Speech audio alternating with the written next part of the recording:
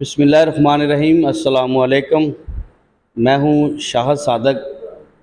मैं इस वक्त मौजूद हूँ पाकिस्तान तहरीक इंसाफ, ज़िला शेखपुरा के रहनमा उम्मीदवार पी पी एक सौ इकताली चौधरी वकास महमूद मान साहब के पास। तो हम आज इनसे तीन मिनट में तीन सवालों के जवाब लेंगे। जी चोर साहब सलामकुम वालेकुम। सलाम। अच्छा चोर साहब ये बताइए कि ये जो इस वक्त मौजूदा सूरत हाल है मुस्लिम लीग नून भी जलसे वगैरह कर रही है पीपल्स पार्टी भी कर रही है इवन कि सारी जो जमातें हैं वो कर रही हैं। तहरीक इंसाफ क्यों नहीं अभी तक बाहर निकले? तो तहरीक इंसाफ अंदर है बाहर कैसे निकले? लीडर हमारा अंदर है। और आपके सामने ही है कि जितने भी लोगों को पकड़ा गया है, उन्हें अदालत ज़मानत देती है और आगे से पुलिस फिर खड़ी होती है उनको पकड़ने के लिए। ग्यारह ग्यारह दफ़ा लोगों की ज़मानतें हुई हैं और दोबारा फिर पकड़ लिया जाता है। अब तहरीक इंसाफ की जो कुछ खवतिन हैं, उन्हें पकड़ा गया है लाहौर की जो हैं। अब मैं एक एक आर्गूमेंट ये रखता हूँ कि उनमें से कोई भी ऐसी खातून नहीं है कि जो नेशनल लेवल की लीडर हो या जो अगर बाहर आ जाए तो वो कोई पॉलिटिक्स में पाकिस्तान की सियासत में कोई तहलका मचा देगी। वो इमरान खान के विज़न के साथ हैं, पीटीआई के विज़न के साथ हैं। अब उनको जो सज़ा दी जा रही है, और अब बहसीत खातून, मैं ये समझता हूँ कि ये शायद पाकिस्तान की तारीख़ में पहली दफ़ा है कि उनको ज़मानतें नहीं मिली, वरना हमारे माशरे में औरत की तज़ीम के हवाले से उनके लिए थोड़ी सी रिलैक्सेशन कर दी जाती है। और कोई ऐसा कोई ख़ास जुर्म भी उन लोगों ने नहीं किया। उनको ज़मानत नहीं मिल रही। तो तहरीक इंसाफ तो अपनी जगह पे खड़ी है जी। और मेरा ख्याल है जितना ये जबर हो रहा है, उसकी वजह से घर बैठा हुआ बंदा, औरत, बच्चा, नौजवान, जो टीवी पे ये देख रहा है, उसके दिल में इमरान खान की कदर और इमरान खान की मोहब्बत और तरीके इंसान का तरीके इंसाफ का लगाव मज़ीद बढ़ रहा है। अच्छा चो साहब, ये बताएँ कि ऐसा क्या ख़तरा है हुकूमत को इस्टेबलिशमेंट को ब्यूरोसी को, कि इमरान खान को अदालत में पेश नहीं कर रहे? सर, देखें, ख़तरा तो यही है ना जी मेन जो चीज़ है इस वक्त के इमरान खान 25 करोड़ आवाम के दिलों की धड़कन है इस वक्त। आप किसी गली में चले जाएँ, किसी कूचे में चले जाएँ, इन्होंने अपने बड़े सर्वे करवाए हैं, हर सर्वे के मुताबिक इमरान खान जीत रहा है। तो मसला तो यही है अदरवाइज़ तो इलेक्शन हो जाते। तो यही असल मसला है कि इमरान खान जो है वो इलेक्शन जीत रहा है तो क्या करें? किस तरह उसको रोकें? किस तरह उसको जेल में रखें? वो छूटे ना, पार्टी को बैन करें वल्ला आलम क्या क्या करें। अच्छा सर ये बताएँ कि सानिया नौ मई के हवाले से पूरे पाकिस्तान में क्रैकडाउन हुआ बड़े बड़े लीडरान को गिरफ़्तार किया गया, उन पर मुकदमा चलाए गए।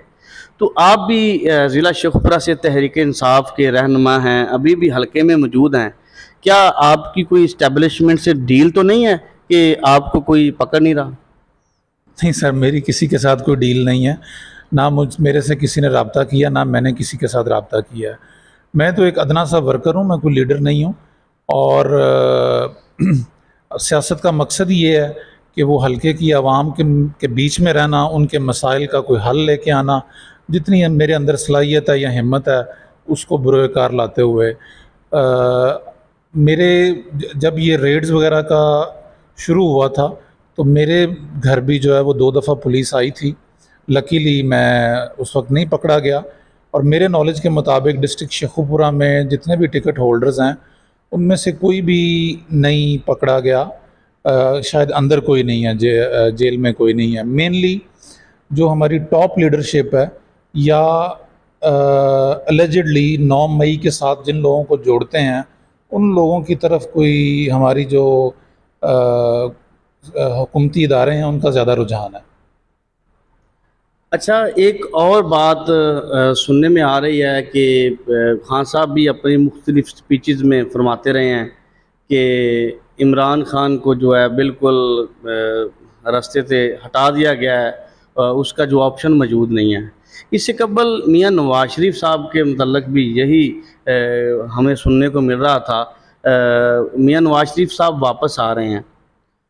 एक और दूसरा, आप ये समझते हैं कि जो इलेक्शन कमीशन ने ऐलान किया है 2024 के जनवरी के आखिर में इलेक्शन होगा, क्या इलेक्शन होता हुआ नज़र आ रहा है? देखिए जी इलेक्शन जो है, इलेक्शन कमीशन ने जनवरी का जो बोला है, मैं इसको तब बावसूख मानूँगा अगर इलेक्शन कमीशन ये कहे कि पाँच जनवरी या दस जनवरी या फ़लानी जनवरी को इलेक्शन होगा। फिर तो बात है। अगर आप सिर्फ़ ऐसे कह दें जी, जनवरी में होगा, जनवरी के बाद होगा, दिसंबर के बाद होगा तो ये तो हम पंजाब के इलेक्शनों के बारे में पिछले नौ महीने से सुन रहे हैं कि सुप्रीम कोर्ट ने कह दिया कि चौदह मई को इलेक्शन होना है। वो इलेक्शन नहीं हुआ।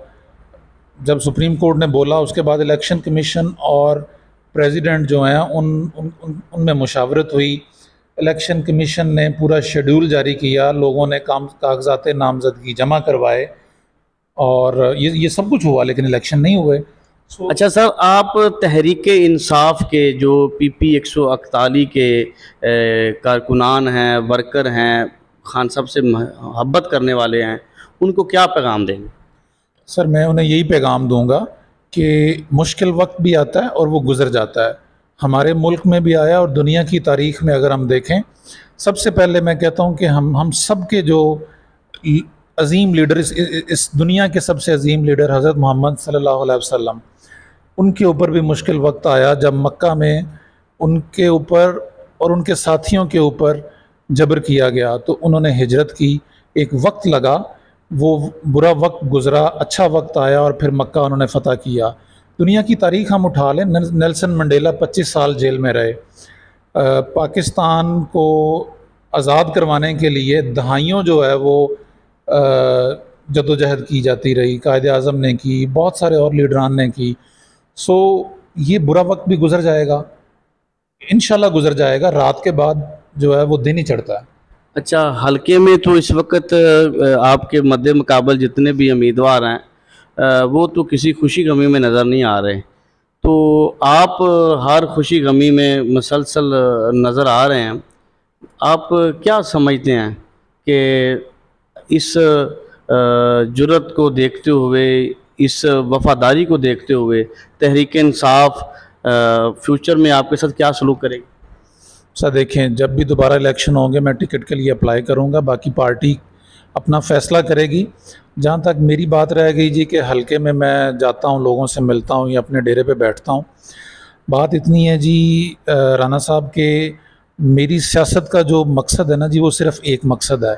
वो ये है कि मैंने हल्के की आवाम की बेहतरी के लिए अपना हिस्सा डालना है। जो अल्लाह ताला ने मुझे हिम्मत और तौफीक दी है। मैं अभी ना पंजाबी में आपको एक बात सुनाता हूँ।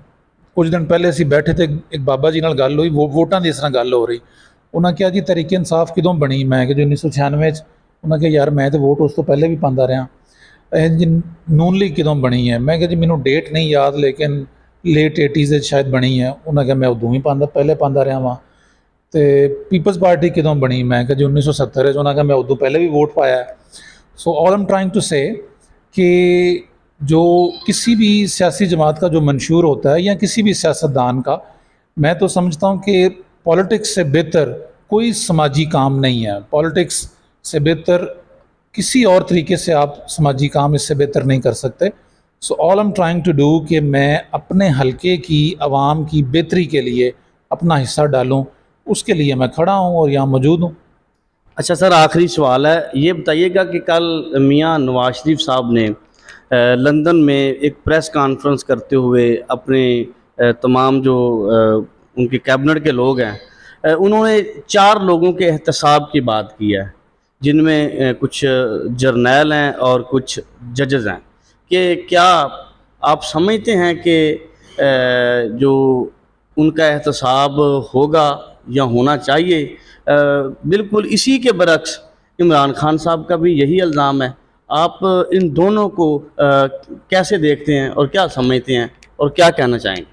सर, मैं ये समझता हूँ कि पाकिस्तान का बुनियादी मसला ये है कि यहाँ पे कभी सही मानों में एहतसाब नहीं हुआ। एहतसाब एहतसाब हमने सिर्फ़ खेला है। आप मुझे बता दें, किसी एक बड़े आदमी को पिछले छिहत्तर सालों में सज़ा हुई हो और उसने काटी हो? किसी एक बड़े आदमी से रिकवरी की हो? नवाज़ शरीफ साहब को सज़ा हुई जी? बड़े आदमी थे, बाहर चले गए, एनआरओ ले लिया। कोई आप मुझे एक बंदा बता दें जिसने लंबी सज़ा काटी हो? यहाँ पे डॉक्टर आसम के बारे में, जनरल राहील शरीफ के टाइम पे मीडिया सुबह शाम कहता था, जी, चार सौ अरब की करप्शन पकड़ी गई जी। उसने दहशत गर्दों का इलाज किया, तीन साल के बाद वो बंदा बाज़त बरी हुआ। ये आँख मचोली और आवाम की नज़रों में जो धूल डालना है ना जी, इसको बंद कर देना चाहिए। अगर एहतसाब करना है तो सही मानों में करना चाहिए। उस एहतसाब में अगर वकास मान आता है, इमरान खान आता है, नवाज़ शरीफ आता है, कोई भी आता है, कानून सब के लिए बराबर है। हमारे नबी पाक वसल्लम ने फरमाया था कि अगर फ़ातिमा भी चोरी करेगी तो उसके भी हाथ काटे जाएँगे। तो एहतसाब तो सब के लिए बराबर है। बाकी जहाँ तक नवाज़ शरीफ साहब के बयानों की बात रह गई तो नवाज़ शरीफ साहब को ये बयान देने चाहिए थे जब उनके भाई वज़ी अजम थे पिछले सोलह महीने। वो एहतसाब करते, वो उनको उस वक्त एहतसाब करना चाहिए था। ये क्या बात हुई कि जब आप हुकूमत में हों तो आप गुडी गुडी खेल रहे हों और जब आप अपोजिशन में आ जाए और आपको सूट करता है जी अवाम को भोली भाली अवाम है और इस अवाम को जो है वो लॉलीपॉप दे दें। जी हम तो एहतसाब चाहते हैं। मियाँ साहब ने यह भी कहा कि अगर पीटीएम की हुकूमत अगर ना आती तो पेट्रोल जो है वो एक हज़ार रुपये लीटर हो जाना था। तो क्या इन्होंने बेहतर किया है कि जो पेट्रोल एक हज़ार से जो है नीचे रहा है? राना साहब ये तो तुम बाहर निकल के वेखो ना जी। लोगों जड़ा वे किसी बाज़ार चले जाओ तो पुछ लो कि पी डी एम की हुकूमत ने की किया आवाम वास्ते? यार, लोग इस वक्त जो है ना, लोग अगर कोई बंदा बिजली का बिल अदा करता है तो उसके पास बाइक में फ्यूल डलवाने के लिए पैसे नहीं हैं। अगर वो बाइक में फ्यूल डलवाता है, उसके बच्चों के लिए, उसके पास खाने के लिए नहीं है। मैं एक एग्ज़ाम्पल देता हूँ माना वाला का एक रिहायशी है। उसने मुझे कहा, जी, पंद्रह हज़ार बिजली का बिल आया नौ हज़ार रुपया मेरा लगता है बाइक में फ्यूल डलवाने का क्योंकि मैं माना वाला से ननकाना डेली जाता हूँ। चौबीस हज़ार हो गया तीस हज़ार उसकी तनख्वाह है। वो कहता है जी मुझे बजट बना दें इसमें। गवर्नमेंट ऑफ़ पाकिस्तान ने बत्तीस हज़ार रुपये एक मज़दूर की सैलरी रखी है। गवर्नमेंट ऑफ़ पाकिस्तान बत्तीस हज़ार में बजट बना दे। बत्तीस मिलता तो किस सब, सब किसी को नहीं है ना जी। यहाँ पे बीस और पंद्रह और दस कमाने वाले भी हैं। हुकूमत बत्तीस हज़ार में बजट बना दे। अच्छा सर एक और बात मुझे इसी इंटरव्यू में याद आ गई है कि जो नगरान सेटअप होता है, वो तो महज इलेक्शन करवाने के लिए आता है। लेकिन जो हमारे नगरान वज़ी अजम हैं, अनवर काकड़ साहब, वो सरकारी दौरे पर अमेरिका गए हुए हैं। जबकि जो हमारे वज़ी अला पंजाब हैं मौसन नकवी साहब, वो भी सरकारी दौरे पर चाइना गए हुए हैं। तो तो फिर जमहूरीत में और इसमें फ़र्क क्या है? सर जमहूरीत है ही नहीं है। देखें मतलब ये तो जमहूरीत तो मतलब बच्चों का खेल बनाया हुआ है ना। मोहसन नकवी साहब की आपने बात की। मोहसन नकवी साहब तो अपनी प्राइवेट महफ़लों में कई दफ़ा कह चुके हैं कि मैं दो साल के लिए आया हूँ, मैं तीन महीने के लिए नहीं आया और वो साबित हो गया। इलेक्शन तो हुए नहीं।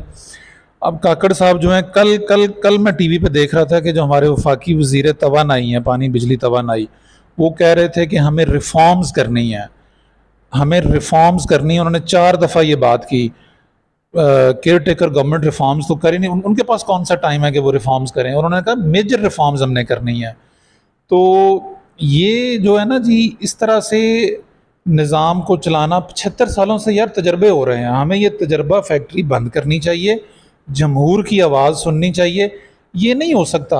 राना साहब, कि मैं कहूँ कि यार ये सारी आवाम जो है ना, जो ये सोच रही है, ये गलत है तो वकास मान जो सोच रहा है, वही ठीक है।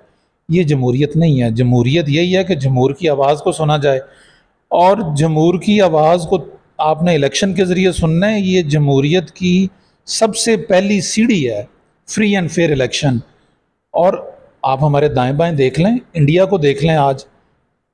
उन, उन उनका हमारा कोई मुकाबला ही नहीं रह गया मीशत में। इंडिया का एक रुपया हमारे पौने चार रुपये हैं। इंडिया को छोड़े बांग्लादेश को देख लें। वो सेवेंटी वन में हमसे आज़ाद हुए। हम उनका एक टका है और पाकिस्तान के ढाई रुपये हैं। तो दुनिया में जो है वो जिन लोगों ने जमहूरीत पे अमल किया है जिन्होंने सच बोला है अपनी आवाम के साथ तो वो लोग वो मुल्क तरक्की कर गए हैं। जी, बहुत शुक्रिया। ये थे चौधरी वकास महमूद मान साहब, जो कि उम्मीदवार हैं पी पी एक सौ इकतालीस शेखपुरा के। अपने ख्यालात का इजहार कर रहे थे। आप कितने इनकी बातों से मुतफिक हैं? अपनी जो ख्यालात का इजहार नीचे कमेंट में दें। बहुत शुक्रिया।